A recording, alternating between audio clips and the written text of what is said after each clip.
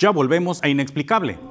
Donald Trump ha sido calificado como el presidente más mentiroso en la historia de los Estados Unidos. El periodista George Conway del Washington Post, dos días después de la elección, escribió una presidencia puesta en marcha con mentiras y alimentada con ellas. Estaba destinada a terminar con la peor de todas. Dicho en relación con el embuste postrero de afirmar que ganó la reciente elección y decirse víctima de un fraude electoral. Aquí te presentamos algunos datos curiosos de Donald Trump. Sin duda alguna, Donald Trump es una de las figuras más polarizantes de la política estadounidense, pero sin importar lo que uno opine sobre este presidente, es innegable que ha vivido una vida grandiosa y con muchos cambios. Echemos un vistazo a algunas cosas que tal vez no sabías sobre Donald Trump. Trump es una de las primeras celebridades convertidas a presidentes, ya que antes de que se instalara en la Casa Blanca, era una figura conocida de la ciudad de Nueva York, en donde llevaba a cabo sus operaciones como magnate inmobiliario. Trump también apareció en más de una docena de películas y programas de TV, en donde casi siempre realizaba cameos, como él mismo. Mientras que otras estrellas como Paris Hilton empezarían a aparecer en películas como una forma de impulsar la popularidad de la misma, Trump no era elegido por el marketing. De acuerdo con Matt Damon, muchas escenas del futuro presidente se llevaron a cabo en sus propiedades. Damon le dijo a The Hollywood Reporter lo que aprendió en el set de Perfume de Mujer explicando, el trato era que si querías usar uno de sus edificios para filmar, tenías que darle un papel. Donald Trump entraba, tenías que llamarlo por su nombre y luego se iba. Pierdes un poco de tiempo para conseguir el permiso y luego puedes cortar la escena. O como demostró la filmografía de Trump, a veces la conservas. La comida rápida es lo que Trump elige para entretener a los equipos ganadores de campeonatos en la Casa Blanca.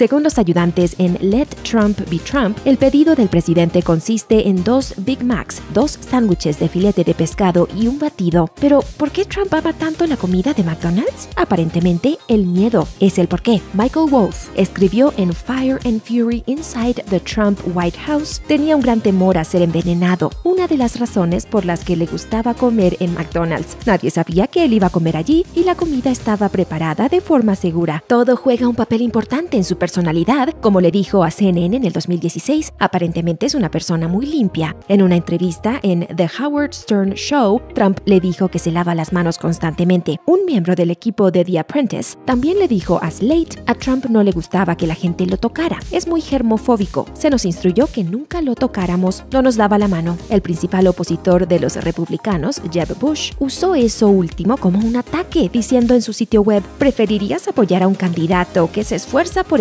estrechar todas las manos en todas partes o alguien que es un germofóbico cuando se trata de dar la mano? Trump no está exento de vicios y probablemente hasta él lo admita. Su amor por la comida rápida está documentado.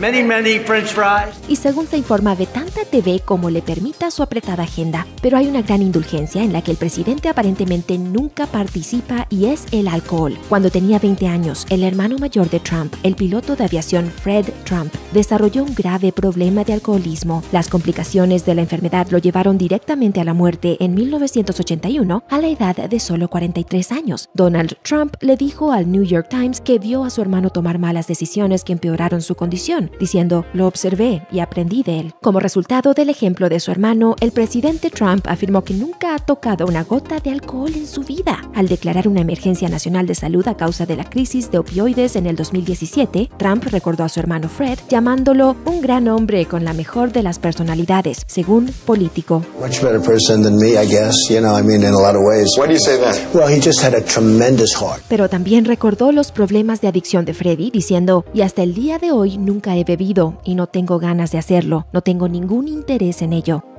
En el 2011, Trump se unió a las filas de Charlie Sheen y David Hasselhoff cuando participó de un roast en Comedy Central. En ese momento, Trump era una gran estrella de los reality shows, conocido por su papel como presentador de The Apprentice, el cual obtuvo altos índices de audiencia y elogios de parte de la crítica. Pero luego de que Trump se metió en la política y aseguró su nominación por el Partido Republicano para la presidencia en el 2016, empezaron a surgir historias sobre su roast. Según HuffPost, el guion programaba que al principio del show Trump ingresaría al escenario en un carrito de golf dorado rodeado de varias mujeres y luego le daría su abrigo a una de ellas. Durante el ensayo general, Trump presuntamente le pidió al director de escena una mujer diferente para darle el abrigo porque la primera mujer, según Trump, no era lo suficientemente guapa. Para asegurar que los insultos en un roast no sean demasiado malvados, los participantes son generalmente amigos del sujeto, pero lastimosamente los productores tuvieron dificultades para conseguir que alguno de los amigos famosos de Trump se alistaran para el proyecto. El jefe de la WWE, Vince McMahon, Regis Philbin, Mike Tyson y Tom Brady rechazaron la oferta.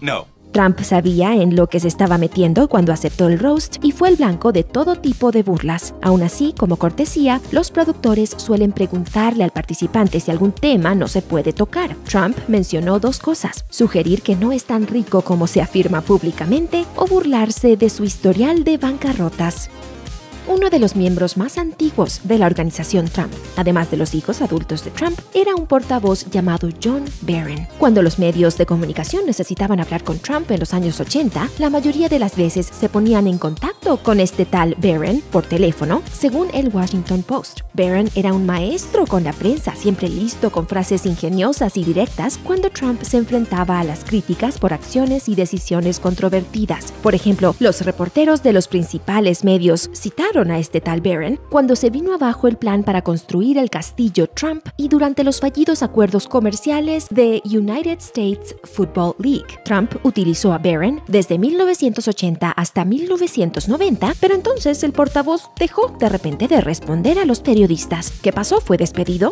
No, en realidad nunca existió. En 1990, Trump tuvo que testificar a causa de una demanda y surgió el tema de John Barron. Mientras estaba bajo juramento, Trump dijo, Sí, creo que yo ocasionalmente usé ese nombre. En otras palabras, Trump actuó como su propio portavoz usando un nombre falso.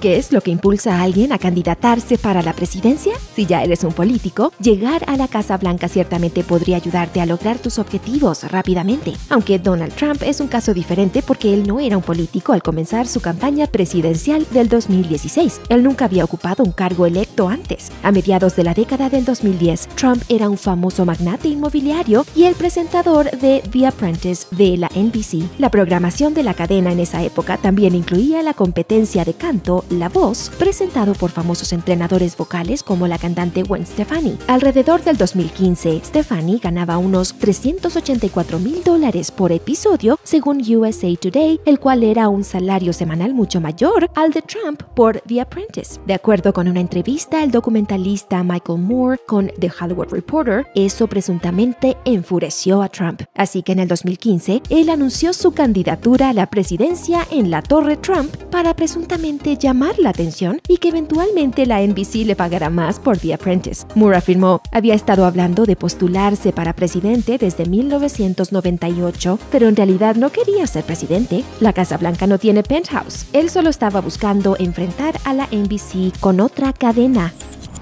Todo en Donald Trump es polémica, como cuando renovó la Torre Trump con los principios del Feng Shui. Vamos a una pausa comercial y al regresar, teorías conspirativas quitan la presidencia a Donald Trump. Ya volvemos a Inexplicable.